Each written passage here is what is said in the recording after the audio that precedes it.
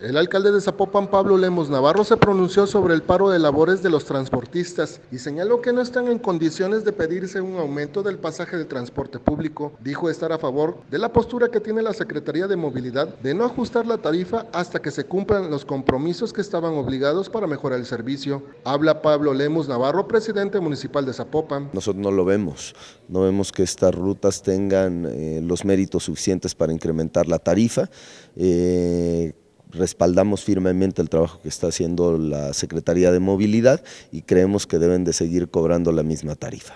En otro tema, Pablo Lemos Navarro aseguró que el proyecto Bosque Encantado, que se pretende construir en el área natural protegida del Nistiquil, no se realizará, por lo que están dando una batalla legal para evitar que continúen edificando. A continuación, escuchamos a Pablo Lemos, alcalde de Zapopan. Pues uh, digamos a estar a favor de intereses inmobiliarios particulares como es el caso de Spinelli, seguiremos dando la batalla legal para evitar que Bosque Encantado se construya. Lemos Navarro dijo que no se preocupan por los juicios de amparo que interponga la empresa Spinelli Corporation y señaló que estarán a favor de la protección de más áreas verdes. Al respecto habla Pablo Lemos Navarro, primer edil de Zapopan. No tenemos ninguna preocupación con estos juicios de Spinelli, no vamos a ceder ante las presiones particulares y seguimos firmes en uh, la convicción de que el bosque del Nixtiquil seguirá eh, siendo un área natural protegida y no vamos a permitir desarrollos inmobiliarios en esta zona.